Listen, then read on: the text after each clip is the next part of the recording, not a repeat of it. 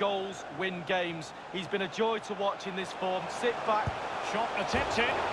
And a goal here for Manchester United. They are the big favourites now.